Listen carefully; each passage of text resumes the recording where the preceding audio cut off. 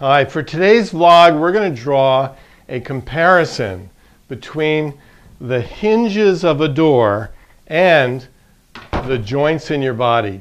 When a door hinge is operating smoothly, it's just like effortless. It's so smooth and it's so relaxed.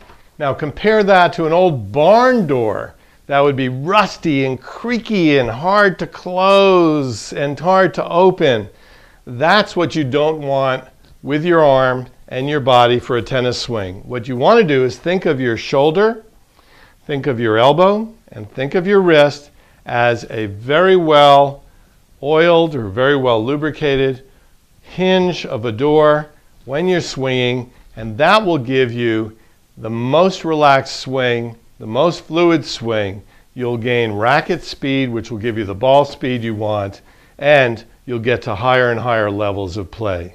Be loose like the hinge on a door.